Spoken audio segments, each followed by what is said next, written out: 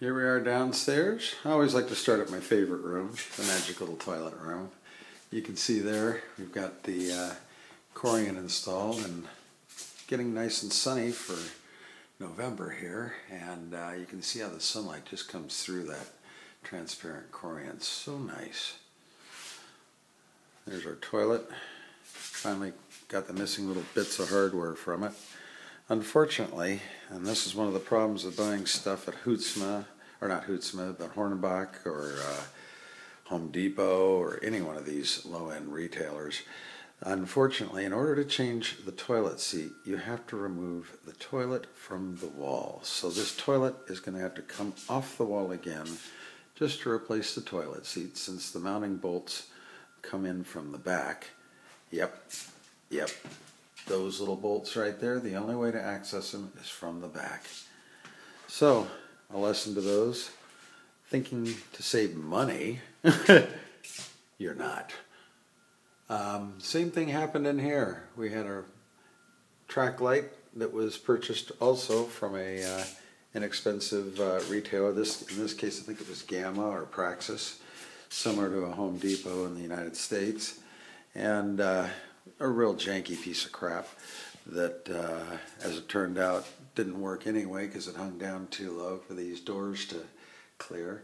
So we ended up pulling that out last night, and we may use it in another room, but uh, boy howdy, it's just not a very nice unit at all. So that said, let's go on to stuff that's looking really good, and that would be the Corian walls in the bathroom. Let's see if I can back up enough so you can get an idea what this looks like.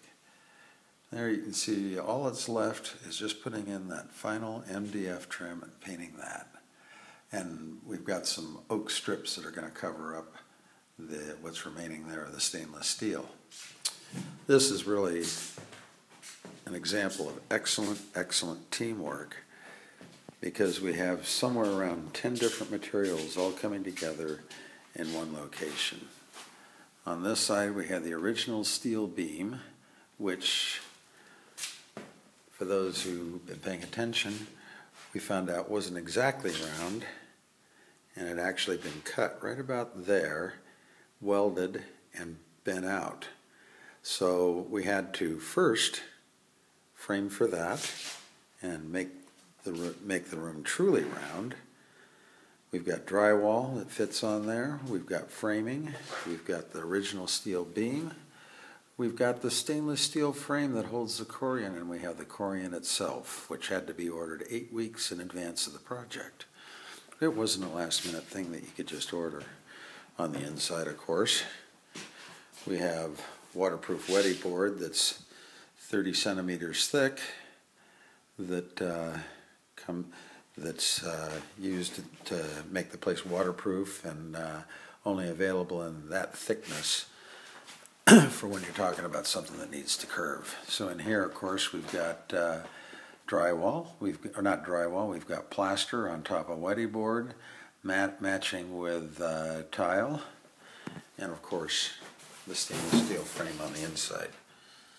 It's too bad this isn't exactly cleaned up yet. There's our tile meeting with the, uh, this one looks a little better. And you can see the quality there. We've just got the framing to put in, and that's today's project. And again,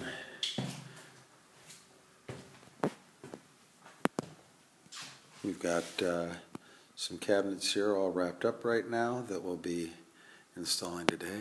And before I leave, we'll do final update so you can see just how this place is coming out.